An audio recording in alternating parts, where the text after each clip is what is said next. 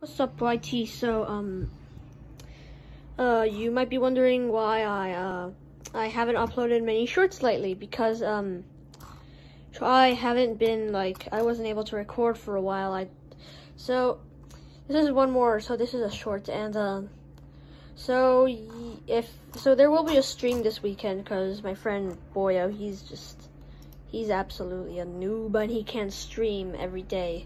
So, so today we'll be actually I'll be showing you why um if you just remove tape off of a mouse, like just um if you if you drag click on Minecraft and you just keep on removing the tape, that's actually pretty bad for your mouse cuz um so my mouse the Razer Basilisk V2, I've had it for um over like somewhere around 2 years now.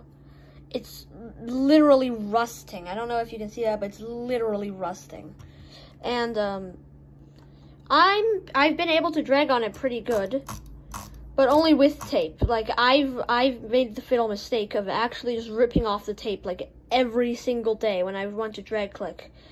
So um, and now I now I can't drag click without any tape because like if I take it off, I can like drag click like two CPS.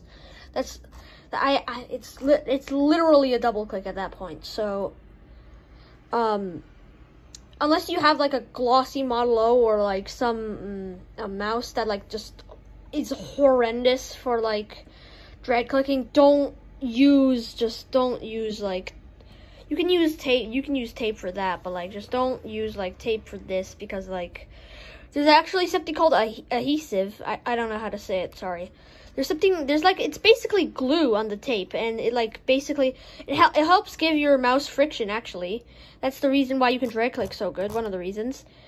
But if you keep on taking it off when the glue hardens, it's just it's just to uh, completely destroy your mouse's texture.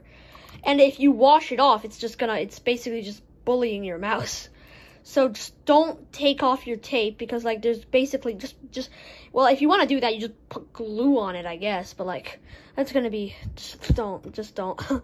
okay so yeah that's the one of the main reasons why you just don't don't put tape just like just like on your mouse don't use tape for for drag clicking unless your mouse is completely doomed like mine's. So like and subscribe. I hope you enjoyed. I hope you enjoyed that video. Hope it was inform informative. Okay, have a good day. Bye.